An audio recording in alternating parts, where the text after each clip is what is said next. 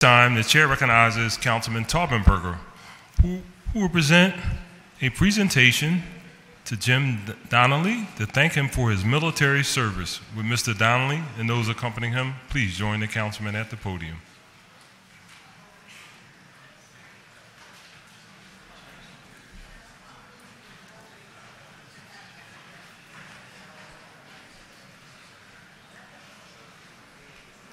And joining Councilman Taubenberger, we have Councilwoman Cherelle Parker, Councilman Domb, Councilman O'Neill.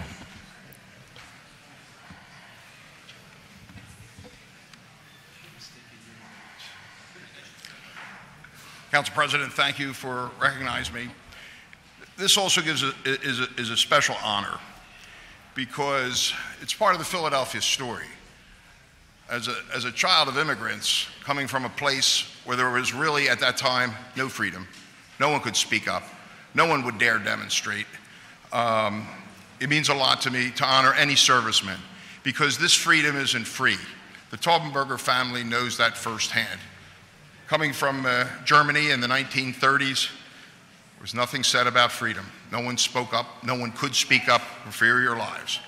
Honoring and recognizing Jim Donnelly for his service in the United States Navy.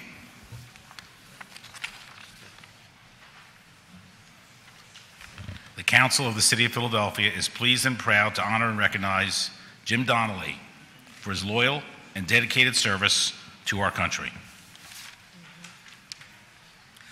And whereas Jim Donnelly has served our country by enabling the United States military to perform its functions overseas and at home, by providing a wide range of services for the communities where he has been stationed, and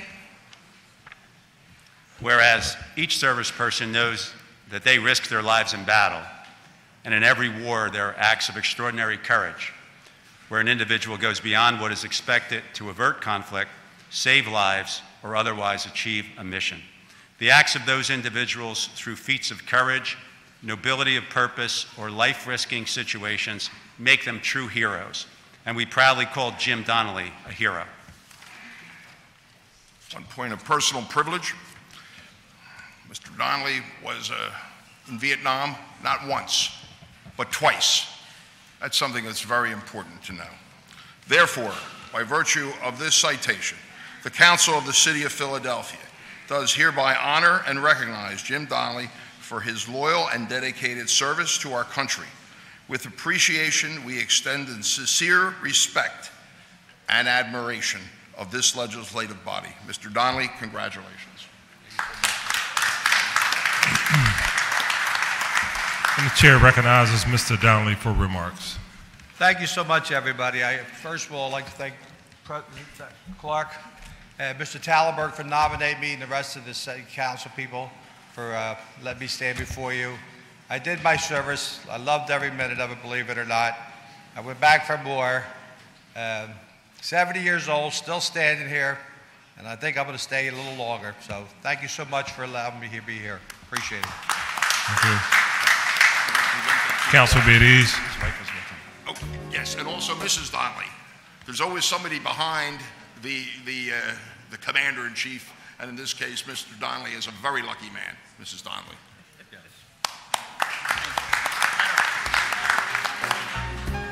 Thank you. Council ease.